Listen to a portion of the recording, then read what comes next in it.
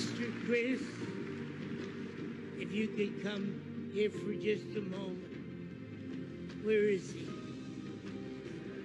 Somewhere. I love you. Everybody's told you they love you and believe they do. I don't think I've ever felt in any conference the spirit of love.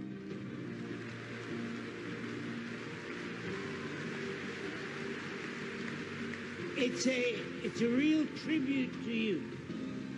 But I, I want to give you a word from the Lord. But about a month ago, you came into my spirit.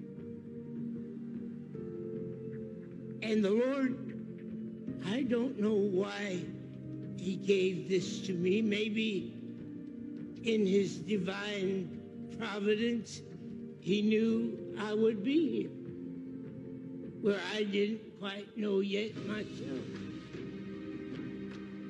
But I saw an anointing on your life in the spirit.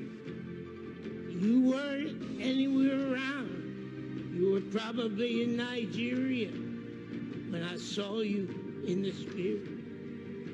And the Lord said to me, You tell this man I have ordained him to bring a spirit of unity to the ministry that I have raised up in these last days. He will be an instrument to unite the body, not separate the body. I want all of his pastors to come and surround him now. Hurry, hurry. Surround him, make a circle around him. United in the Spirit. United in the Spirit.